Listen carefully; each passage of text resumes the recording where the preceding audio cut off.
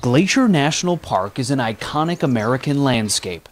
Its turquoise waters and jagged mountain peaks aptly called the crown of the continent. I think it's a gem in the crown.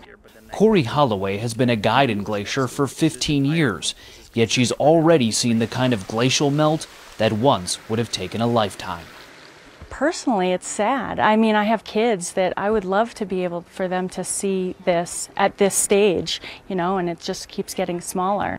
Corey took us on a five mile hike up to the top of Grinnell Glacier. It used to be one of the park's largest. In 1938, it covered an entire valley, but between 1981 and 2009, it rapidly dissolved. The glaciers have been shrinking since 1850. Yet scientists say human fueled climate change has made the melt quicker and more extreme. Since 1966, 11 of them have completely melted away. It's true that these glaciers would be melting naturally, but scientists believe they'd likely last another 100 years. With the human factor, they say all of these glaciers could be gone in just 10 to 20 years. We are into something that is very unusual. Dan Fagre is a scientist with the United States Geological Survey.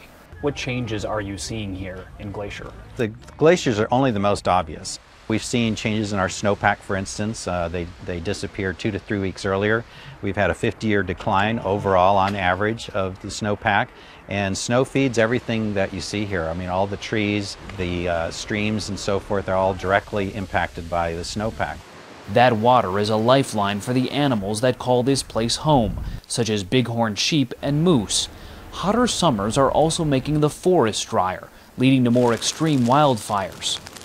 How different does this park look 20 or 30 years from now? It'll still be, you know, a, a terrific landscape to come and enjoy, um, but it will have been changed by climate change. While some may argue about how much humans are to blame, there is no debate that what we are witnessing is the twilight of the glaciers. Ben Tracy, CBS News, Montana.